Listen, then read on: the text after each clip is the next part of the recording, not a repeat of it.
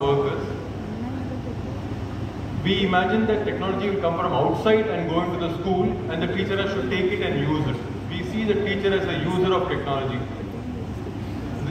Digital technology is not the first technology used in the school. Everything in the school is technology, right from the chalk, the blackboard, the duster, the textbook, the stage, the classroom, the furniture, the compound wall, everything is a technology because it's an artificial creation of human beings to create a to, for a particular process.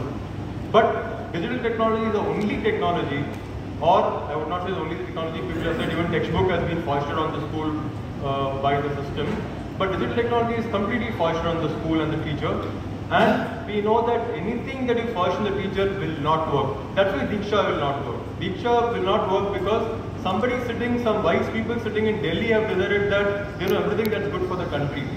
We need a Diksha in every district, every block. Then it might work because then there's a possibility that the teacher and the local will own up the technology. So the first principle I would say for a technology program that will work is it has to be free and open digital technology. Please, I would request all of you to note it down. The minute technology is proprietary, it means it belongs to a vendor. The vendor is going to worry about his business. But I'm not even worried about profit. That's not the question because profit is made out of printing textbooks also. But the thing is, the need of every child is unique. The need of every classroom is unique. The need of every school is unique. No one technology created somewhere can help everybody.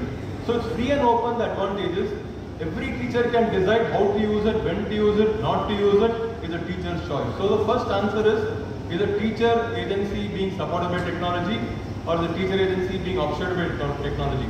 So that's the first principle. Second principle is, do not take technology to children. I think it's a very bad idea because we all have learned enough about addictions.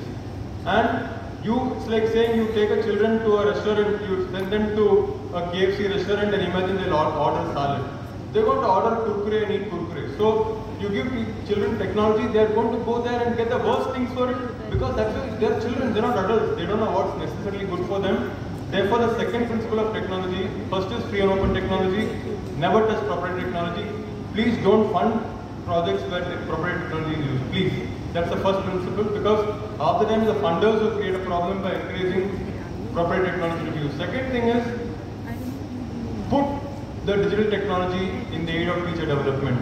You use technology only for the teacher, let the teacher figure out in the classroom what should be done should the teacher's choice. It's not the choice of the system or the vendor.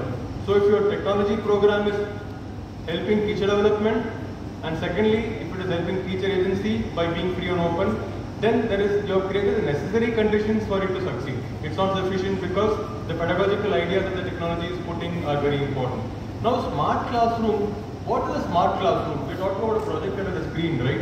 Why are we debating about it? You give a, you give a projector and a screen to a school, just like you will give a library, just like you will give a toilet, just like you will give a compound wall. There's no vendor there. The teacher may use it, the teacher may not use it. How does it matter? So we should, our technology and education debates have to rise above, is a smart classroom good or bad? You give the infrastructure and let the teacher use when she wants to. The bigger part of technology and education is not the hardware, but what is the content, what is the pedagogy, and that should be decided based on educational principles and processes, not by vendors. So Kerala, for example, I would say it's a secret. Kerala is the best technology and education program in the world. I don't think Europe or America or Japan has anything remotely as effective as what Kerala is doing in government schools, and they follow both these principles. They invest excessively on teacher development and they let the teacher decide what to do with technology in the classroom and they use only free and open technology. So I think these two principles if you follow, you won't go wrong. It may not work, but it won't harm. Thank you very much.